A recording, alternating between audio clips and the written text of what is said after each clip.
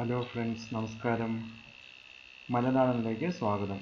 ഞാൻ ഇന്ന് നിങ്ങളുമായിട്ട് ഒരു അറിവാണ് പങ്കുവയ്ക്കാൻ ഉദ്ദേശിക്കുന്നത്. നിങ്ങളിപ്പോൾ ഈ പിക്ചറിൽ കണ്ടുകൊണ്ടിരിക്കുന്നത് രാജഹംസം അല്ലെങ്കിൽ സ്വാൻ. നമ്മൾ രാജഹംസത്തെ നമുക്ക് കൃത്യമായിട്ട് അറിയാം. നമ്മൾ മുമ്പ് കേട്ടിട്ടുണ്ട്. എന്നാൽ ഇംഗ്ലണ്ടിലെ രാജഹംസത്തിന് ഒരു പ്രത്യേകതയുണ്ട്. ഇംഗ്ലണ്ടിലുള്ള മുഴുവൻ രാജഹംസങ്ങളും അവിടുത്തെ രാജ്ഞിയുടേതാണത്രേ എന്താണെന്നല്ലേ? പന്ത്രണ്ടാം നൂറ്റാണ്ടിൽ ഇതിന് വംശനാശം നേരിടുകയും ആ വംശനാശത്തെ ചെറുക്കുന്നതിന് വേണ്ടിയിട്ട് ഈ പറയുന്ന രാജവംശം അത് രാജ്ഞിയുടേതായി മുദ്ര കുത്തപ്പെടുകയും ചെയ്തു. അപ്പോൾ അവരെന്താ ചെയ്യുക ഇതിന്?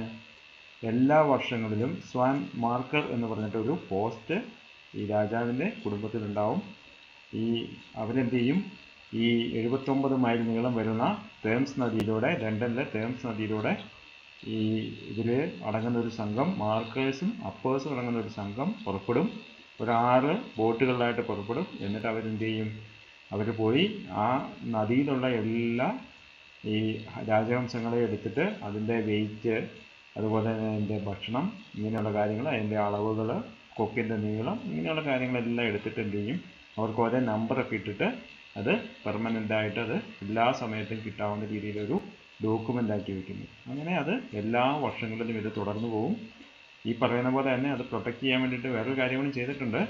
ബാക്കി എന്ത് മൃഗങ്ങളെയും പക്ഷികളെയും ഒക്കെ അവിടെ ഭക്ഷണം കഴിക്കാം. പക്ഷേ ഭക്ഷണത്തിന് വേണ്ടി ഉപയോഗിക്കാം. പക്ഷേ എന്ത് ചെയ്യാൻ പറ്റത്തില്ല? ഈ ഹംസത്തിനെ മാത്രം ചെയ്യാൻ പറ്റത്തില്ല. അപ്പോൾ ഒരു രാജ്യം ഒരു ഒരു ഒരു വർഗത്തിൽപ്പെട്ട ഒന്നിനെ സംരക്ഷിക്കുന്നത് എങ്ങനെയാണെന്നാണ് ഞാൻ പറഞ്ഞത്. നന്ദി നമസ്കാരം.